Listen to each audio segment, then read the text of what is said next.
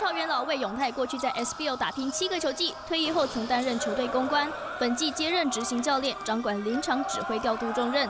菜鸟教头就带出玉龙例行赛十七胜十三败，近六年最佳战绩，以第四名之姿晋级季后赛。一接的时候其实一直很不习惯，然后那个压力跟在临场上面的时候很多。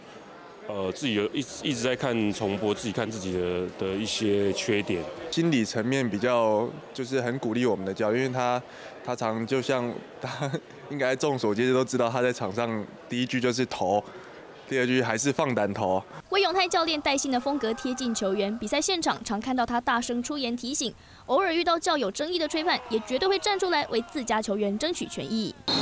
我挑战，我挑战，自己看吧。